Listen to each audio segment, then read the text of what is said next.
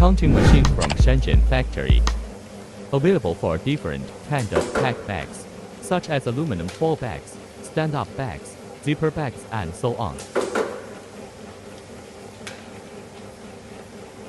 The specific speed is according to manually loading speed or front deck machine speed. Generally speaking, it's a necessary step for visual mass production.